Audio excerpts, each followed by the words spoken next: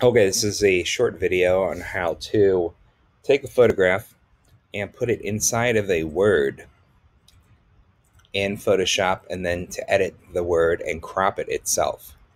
So we would prefer to use your own photograph, but we understand that some of you do not have a large photo library. So you may use one offline. Um, for example, you can go to unsplash.com to find legal photos to use. For example, if you really like to go camping or to the beach, you can use a photograph that represent that for you. Then you're going to use a word that represents the photograph for you. For example, if you like to go camping and you want to use the word woods, you could use that.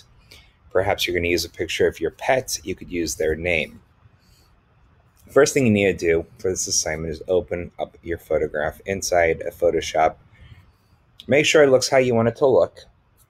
And then you need to go over here to the layers. Now, in the layer panel, if the lock is turned off, this little icon is here. If it's not, you can ignore this step. But if it is, you have to double click.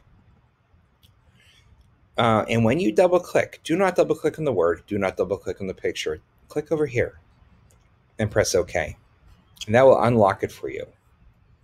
The next step is to pick a background color. This will be the color of your graphic that you're making.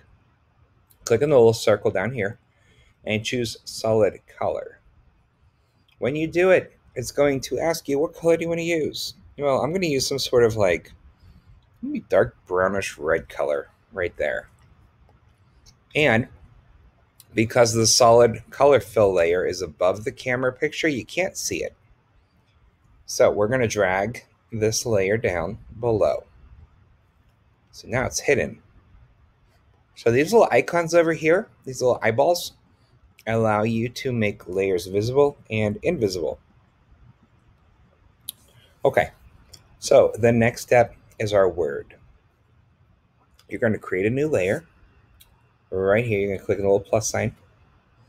And because it's underneath of the camera picture, whatever your picture is, in my case, it's a camera, turn that visibility off. So you can't see the picture above it. So you have this text layer here.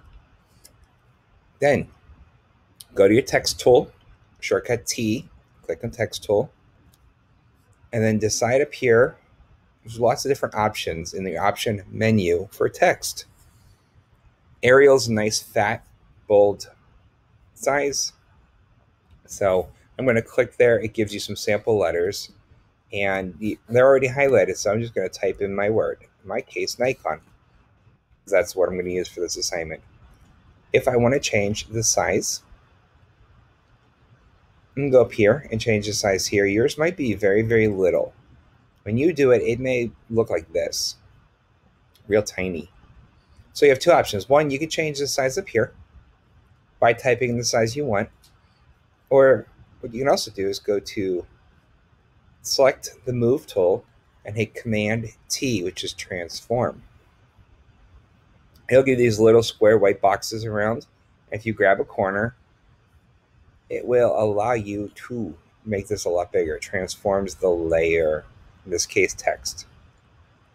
That looks pretty good. Now if I want to stretch it a little bit, if I grab this, it'll keep the ratio. So I have to hold the shift key down if I hold the shift key down and I grab that, it'll stretch the word.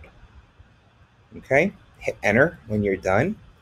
If you want to change the font because you don't like this font or whatever font's showing up on your computer, go back to the text tool, select it all, go here, and start scrolling through all the fonts that are on your computer.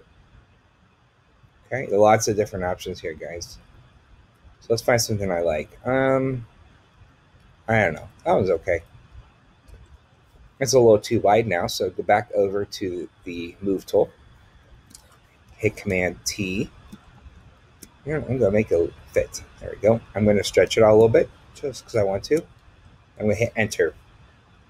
Now, turn on your picture layer again. And then go make sure you select your picture layer and right click. When you right click, you're going to do create clipping mask. If your right click button is not turned on your mouse, then we will have to turn it on together in class. It's under system preferences. Create clipping mask. And when you do that, now my camera's coming through. Well, if you want to adjust things, for example, I'm still on the picture layer and I'm still on the move tool. I can move it around.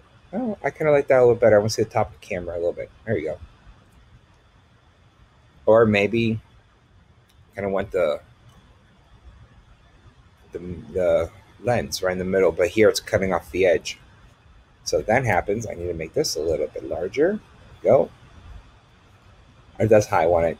So I don't know. I'm just playing around here. If you have an animal that you're doing this with, try to put their eyeballs inside the letters so you can see them. Once you've done that, there are a few more steps. The next step is to click back on the text layer. We're going to add some interest to the text layer by double clicking on that layer. Double click on it, it'll bring up the layer style box. And watch the text. So first I'm, I'm going to turn on bevel and emboss and it changed the edge, changed the outside edge a bit. So I'm going to select that. You have to highlight it and I could change the depth. I can change the size. I can make this like very, very, very textured. I can add some actual texture here. Some different patterns in here that are kind of fun. Like this one, there's like trees and such. It's kind of weird. And I can have it be not as crazy by scaling it back a little bit. I don't think I like that. It's kind of weird. I don't know. Pretty much here, you're just going to play with it. I don't like this. I'm going to turn it off. Stroke is fun. Stroke allows you to put a line around the outside. Don't ever do this. And you can make the line whatever color you want. And you want to add a little bit of interest to it, you may make it blue, or you can even pick a color off the actual photo. Isn't that cool? So instead of picking over here, just move your mouse. There's that orange color right there. I like that. Okay, okay. Looks kind of cool. Very, very subtle. It's this orangey brown color. You can kind of see it. If you want a drop shadow, Drop shadows are cool. Wow, that's pretty bright. So I'm going to turn it down a little bit. Let's see here. Yeah, just a little bit of depth, not too much. There, you can kind of see it there now a little bit more.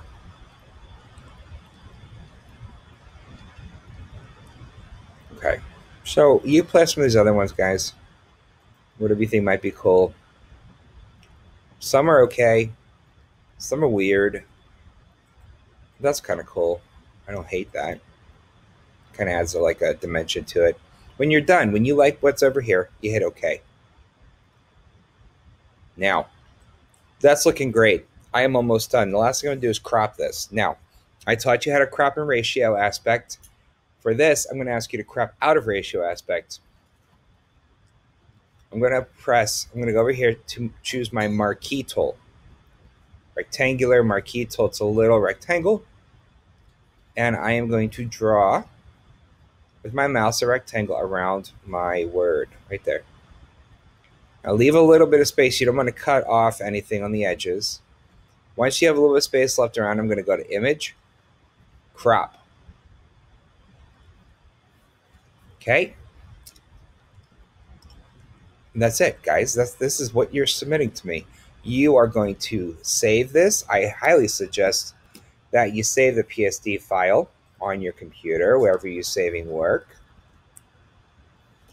Okay. Let's see. Yep, yep, that's what I'm going to do. And then again, I'm going to export it for Canvas like I usually do.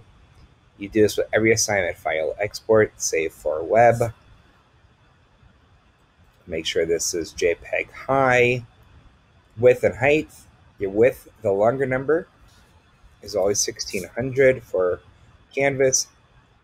Will automatically change the, bottom number or the shorter number. Hit save. I'm going to call it whatever I want to call it. Um, let's call it picture text, pick text. canvas, so we know it's a canvas version. Hit save, and that's it. That's what you're submitting. This is due by Thursday evening. Thanks, guys. This is a fun tutorial. It's a fun little trick.